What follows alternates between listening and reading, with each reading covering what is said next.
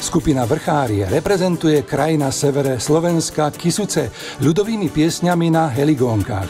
V súčasnosti sú traja a od októbra 2017 účinkujú pod vedením kapelníka, ktorým je Pavol Kopas. Diváci TV Šláger ich dobre poznajú z kompletu 2 CD a 2 DVD Srdce Vrchára a Spoza Tmavej hory ešte z roku 2018. S týmto kompletom sa často objavujú na popredných miestach hitparády Hviezdna Peťka v kategórii harmoniky heligónky. Ich najnovší tretí CD album má názov Vrchovanská dolina. Skupina Vrchári u nás po dlhom čase po tretíkrát. Palko Kubica dokonale predstavil nasledujúcu hudobnú skupinu, no a ja len dodám, nech znejú čarovné tóny heligonky a harmoniky, ktoré majú v našom programe takisto stabilné miesto. V náručí s nimi prichádzajú vrchári.